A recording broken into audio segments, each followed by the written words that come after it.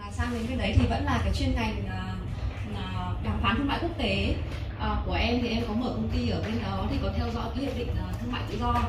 là giữa Việt Nam và châu Âu. Thì uh, uh, cái thành công thì sẽ học hỏi thì sẽ có những phát triển trong tương lai. Chính vì vậy mà hôm nay em nhận nhiệm vụ của các anh các chị thôi ạ chị em cũng không cần không không uh, không cần cố gắng là nói rằng chỉ là chia sẻ để làm sao để mà có cái cơ hội Ờ, về mặt kinh doanh mà mình có thể làm cùng nhau. À, đấy là ờ, cái hiện tại thì em đang ở rất là nhiều các mặt hàng. À, từ giờ đến năm đến năm 2025 thì thuế nó về như là về như gần như bằng không có nghĩa là gì? Có nghĩa là Việt Nam mình sang châu Âu thuế rào cản thuế cũng đã về như là về bằng không rồi và từ hàng từ châu Âu về Việt Nam cũng rào cản thuế cũng như gần như bằng không. Và cái cơ hội mình hàng của mình châu Âu và với giá thì cũng rất là rất là hợp lý thì em xin điểm ở đây một số những